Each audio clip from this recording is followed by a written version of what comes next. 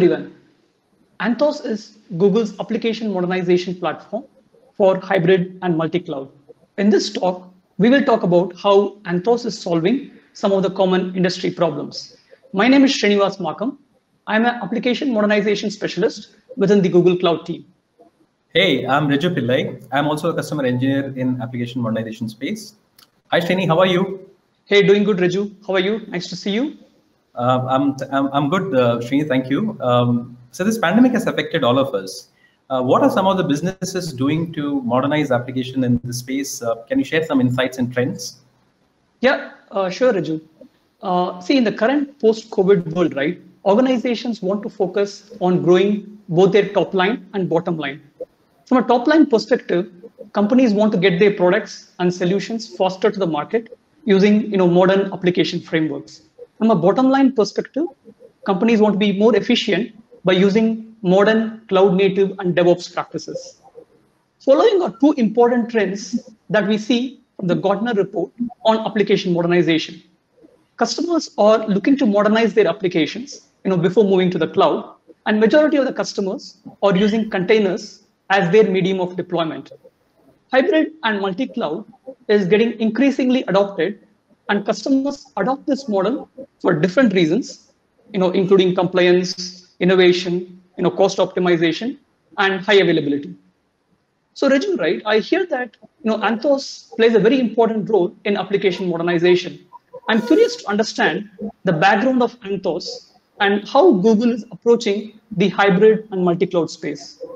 Sure, Srini. Um, containers became a promising technology a few years back, but it alone could not have solved all the problems without a robust orchestration engine.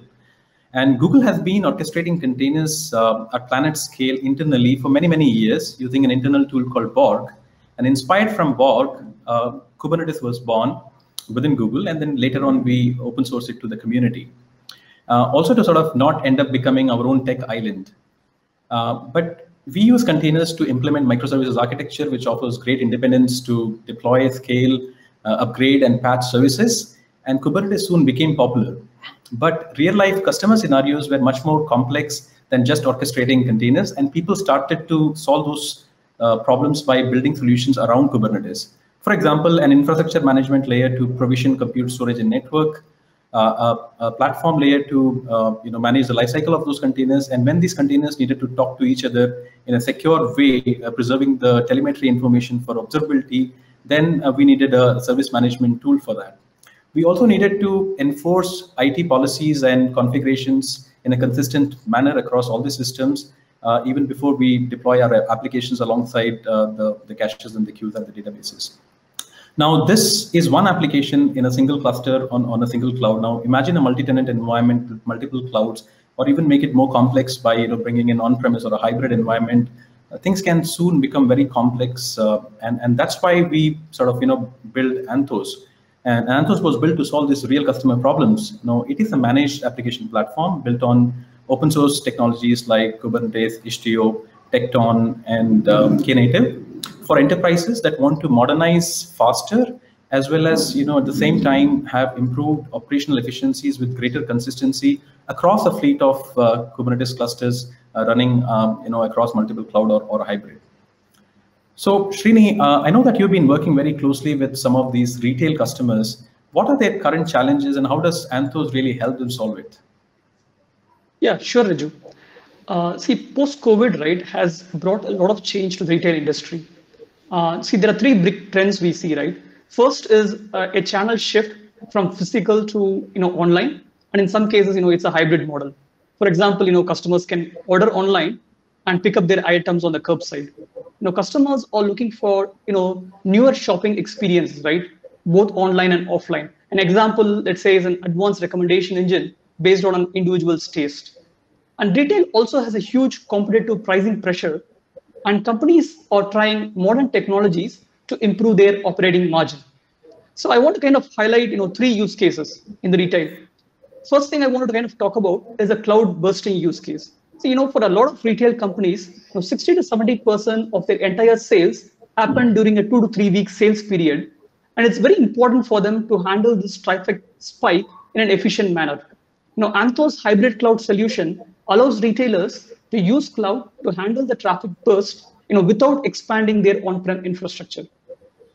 Retail companies want to develop applications using modern microservice patterns so that they can be agile in both their development as well as operations. You know, Anthos provides cloud-native tools to develop and operate microservice-based applications. Companies are looking to focus on value-added services to their end customers, you know, rather than investing on infrastructure creation and maintenance. This is where serverless solutions like Cloud Run come to play where developers can deploy their applications, you know, using a single click approach. I will a little bit, you know, deep dive on the cloud bursting use case, right? See, uh, let's say we have a hybrid environment uh, with on-prem as a primary and cloud as a secondary, and this can be switched, and there is a global load balancer, you know, balancing the traffic. Uh, when there is a traffic spike, some of the user traffic gets automatically moved to Google Cloud, and we can control this distribution using the Google global load balancer. You know, once the traffic spike reduces, you know, we turn off the resources provisioned in Google Cloud. The way that Anthos is adding value here is by providing a single pane of glass, control, management, and data plane with a dynamic service level observability. This is really good, Srini. Um, uh, we see a lot of startups in India uh, literally popping up like mushrooms. Uh, can Anthos help those born in the cloud companies too? Yes, yes, Raju. Uh, actually, this is a very you know active space in India, right? So if you look at it in 2020, you know we saw 12 unicorns born out of India. In 2021, you know we are already have you know 10 unicorns till now, right? See the top three trends you know we see from digital natives or the need to have a faster time to market, you know focus on reducing the operational complexity, and the use of you know open source tools and frameworks for their IT landscape. So if you look at the use cases in the digital native space, uh, earlier we talked about the trend with open source platforms and digital native, right? Google as a legacy for creating and contributing to open source projects, as well as creating managed open source products. See, example is you know GKE for Kubernetes, you know Anthos Service Mesh for Istio, you know Cloud Run for serverless, right? And digital natives typically uh, start having a Kubernetes cluster sprawl where you know where they have you know tens of clusters to manage. Anthos provides a simplified platform to manage configuration, monitoring, and security across multiple Kubernetes clusters. And companies are looking for you know, certified application marketplace, you know, since all the needs cannot be satisfied from a single vendor. And Anthos provides a central marketplace for third-party applications, you know, like Kafka, Elasticsearch, with billing being centrally managed. So let's talk about this multi-cluster use case in a little bit more detail, right? See, when we have multiple Kubernetes clusters spread across different environments, you know, we need to have a common way to manage these clusters. In this example, we show a central load balancing, a policy, and service management. We have a common policy repository to manage policies that gets pushed across all the clusters, you know, using a GitOps model. For handling traffic north-south, we have a global load balancer managing the traffic. For east-west service-to-service communication, we have Anthos Service Mesh providing traffic management, telemetry, and security. So Raju, right, uh, I wonder if Anthos is also applicable to, let's say, traditional industries, right, like BFSI and manufacturing? Yeah, absolutely, Srini. Uh, let me talk about BFSI. So in this digital age, customer satisfaction and their retention, loyalty is a big priority. Now, one of the surveys showed recently that one in every three millennials would switch their banks within 90 days if they don't get a frictionless, innovative banking services, often an omni-channel, um, like let be uh, mobile, desktop, chatbot, or point, point of sale. Now, this has pushed the need of uh, API modernization and API standardization. On the other hand, the banks and the FSIs are increasingly concerned about the security for both development and operations. They often work in a highly regulated and uh, you know sometimes air-gapped environments. Uh, specifically in India, there is a cons concerted effort between NPCI, RBI, as well as the private and nationalized banks to revolutionize the digital payments, which will lead us into a cashless economy. But the banks no longer have this entire uh, value chain, and that's where the fintechs come in with their innovative business model, speed, and agility, and they are the new disruptors. And I want to tell you how Anthos can be a perfect solution and a win-win for both these fintechs as well as bank. Let's take an example of UPI. Fintechs can create differentiated UPI mobile app backends which run on containers on top of Anthos clusters. It offers improved CI/CD, which we can implement DevSecOps in the overall software supply chain. Similarly, the banks can modernize existing uh, Java and .NET application with Anthos um, and expose those banking services such as accounts, payments, fund transfer, and remittance using the Apigee Hybrid, uh, which is our on-premise uh, API management solution. Now, both parties can uh, split revenue and monetize uh, by creating products, packages, and subscriptions on those APIs. In fact, the developers don't need to really worry about this complex integrations. They can just work on uh, the API layer to, to build rich digital experiences which are differentiated. Now, there are also strict uh, regulatory uh, requirements and penalties levied by RBI on failed transaction.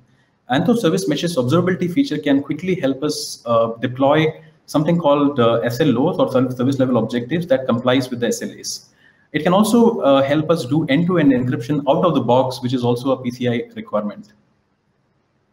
Wow, it looks like BFSI is a great fit for Anthos. Can you also please tell Anthos's relevance to the manufacturing industry? Yeah, sure, uh, Srini. Uh, traditional enterprises, especially manufacturing, there is an increased interest to embrace Industry 4.0 standards. Now, globally, around 70% of industrial companies are making it a top strategic priority because of automation in a labor cost saving of 80% or less and 30 to 40% saving in the capex. Now, manufacturers also faced with uh, demand and supply chain issues, especially you know in this pandemic and resulting lockdowns. Geographical expansions and rollout plans of new products are impacted. Traditionally, uh, they already always had a poor data center utilizations, technology withdrawals, end of life for licensed products such as Windows 2008. They were always a challenge. Now, Anthos can help accelerate this Industry 4.0 uh, adoption with real-time hybrid AI and visual inspection to automatically detect uh, defective products on the production lines. We have customers uh, doing predictive maintenance via telematic solutions uh, for connected cars, where the data ingestion uh, frameworks runs on a scalable uh, cloud-native architecture on top of Anthos. We have supply chain and inventory management systems, which are generally very complex, you know, legacy ERP application and uh, Anthos can help modernize that. In fact, I would like to introduce you to a tool called Migrate for Anthos. Uh, for these traditional enterprises who don't want to rewrite their application and don't want to also do a lift and shift, they can find a middle ground here. Uh, Migrate for Anthos can convert VM-based application into container apps that can automatically run on Kubernetes. And with stateful uh, rollback, boot over WAN, intelligent streaming and caching technologies, the migration can be really uh, auto highly automated and efficient. And once they are on the cloud, they can obviously leverage the cloud's elasticity and also benefit from a higher density for utilization and fix operational issues around the logging, monitoring, and observability. Hey, Srini, uh, now that we have seen all the trends, challenges, use cases, uh, uh, can you summarize uh, the Anthos architecture and the components and also help our viewers know how they can get started with Anthos? Yes, I'll be glad to, Raju. Uh, so what I want to do is kind of provide a thousand feet view of the Anthos architecture. Anthos is a software platform that works on any infrastructure, including on-prem and public cloud. The infrastructure layer provides managed Kubernetes, networking, and the storage layers. Application layer provides service management, CI/CD, and developer tools. The operations layer provides central security policies and a single pane of glass monitoring and logging. There are many ways to get started with Anthos. So you can try Anthos on your own as a free trial we can also do an application assessment and suggest ways to modernize your applications. So thanks for your time. We really hope that you will take the Anthos journey with us. Thank you. Thank you.